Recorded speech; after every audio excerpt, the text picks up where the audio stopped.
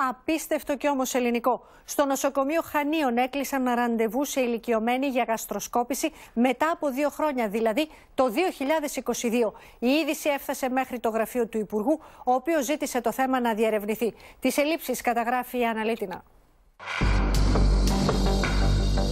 3 Φεβρουαρίου του 2022 στις 10.30 το πρωί.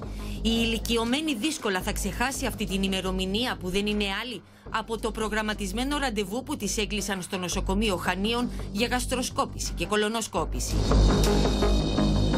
Η κόρη της μόλις ενημερώθηκε για το ραντεβού που έχει αναμονή δύο χρόνια δεν ήξερε αν πρέπει να κλάψει ή να γελάσει. Είναι τραγικό, είναι τραγικό. Δηλαδή δεν είναι, είναι για γέλια. Γιατί εγώ πραγματικά γέλασα πάρα πολύ. Και όταν τέλος πάντων πήρα τηλέφωνο στο νοσοκομείο και μου είπαν ότι πράγματι οι καθυστερήσεις είναι πολύ μεγάλες, τότε πραγματικά εντάξει. Είναι μια εξέταση δαπανηρή. Έξω στοιχίζει πάνω από 200 ευρώ, μπορεί και 300 ανάλογα με τις βιοψίες που θα πάρει ο γιατρός.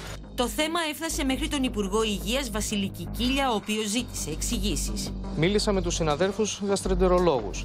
Λένε ότι και καινούριος γιατρός να έρθει, αν δεν υπάρχει νοσηλευτικό προσωπικό, δεν μπορεί να λειτουργήσει. Το πρόβλημα όμως δεν είναι μόνο στο νοσοκομείο Χανίων. Επικοινωνήσαμε με το Λαϊκό Νοσοκομείο και τον Ευαγγελισμό και η αναμονή είναι πολύμηνη.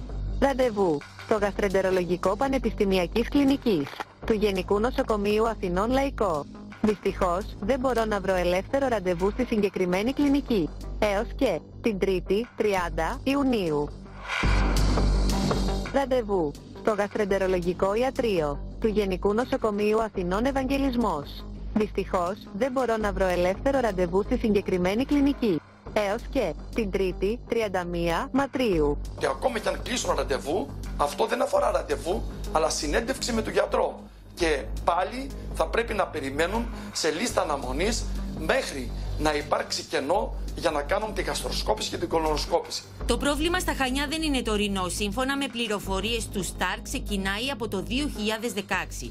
Μέχρι τις 13 Νοεμβρίου του 2017, ο αριθμός των κλεισμένων ραντεβού που υπήρχαν στη λίστα αναμονής ήταν 2.373. Γιατί η γυναίκα μου έκλεισε ραντεβού για οφθαλμίατρο και περνάνε τρεις μήνες τώρα. Από το καλοκαίρι έχω κλείσει τον οφθαλμίατρο και έχω ραντεβού το Μάρτιο.